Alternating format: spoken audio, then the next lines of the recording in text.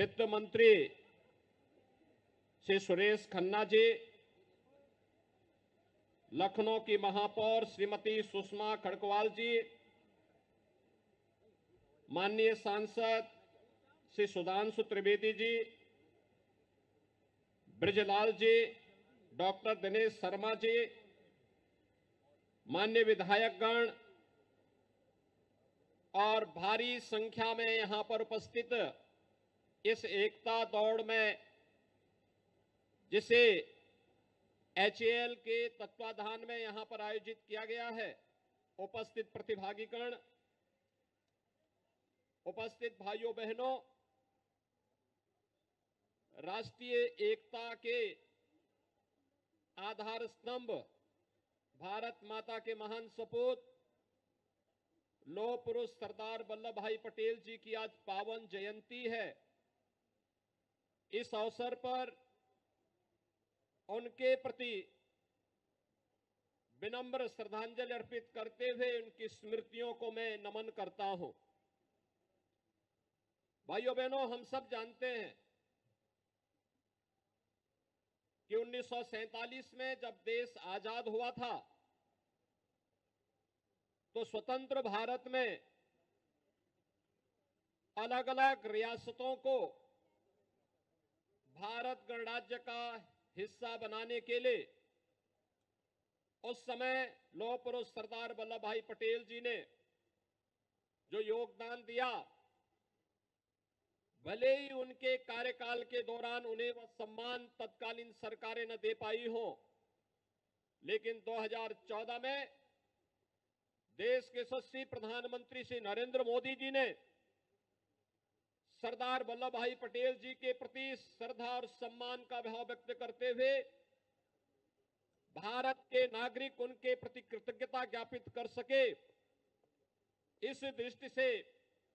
31 अक्टूबर की तिथि को राष्ट्रीय एकता दिवस के रूप में आयोजित करना प्रारंभ किया। इस अवसर पर रन फॉर यूनिटी इस एकता दौड़ के माध्यम से पूरे देश के नागरिक, जाति, मत मज़हब क्षेत्र, भाषा भूल करके एक साथ राष्ट्रीय एकता के प्रति सरदार वल्लभ भाई पटेल जी के प्रति कृतज्ञता ज्ञापित करते हुए इस एकता दौड़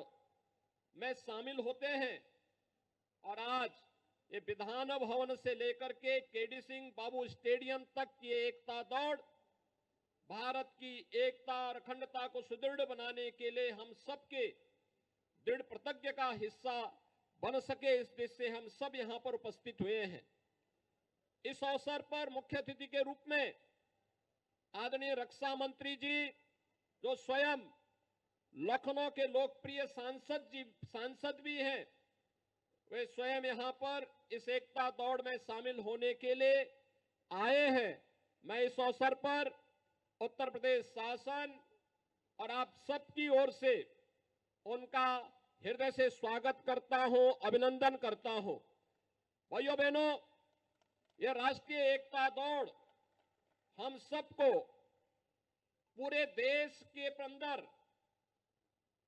किसी भी प्रकार के बात से ऊपर उठ करके अपने राष्ट्र, नेशन फ़र्स्ट की जो प्रधानमंत्री मोदी जी का अभियान है उसके प्रति समर्पण का भाव पैदा करने का एक नया भाव पैदा कर सके, इस विश्वास के साथ मैं एचएल को धन्यवाद दूँगा, स्थानीय प्रशासन को भी धन्यवाद दूँगा कि उन्होंने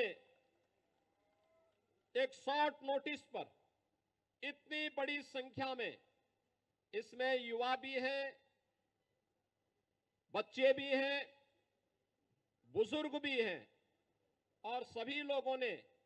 आज जिस भाव के साथ, इस एकता दौड़ के साथ जुड़ करके इस कार्यक्रम को सफल बनाने के लिए आए हैं, मैं उन सबको भी हृदय से धन्यवाद देते हुए उनका अभिनंदन करता हूँ। धन्यवाद। जय हिंद।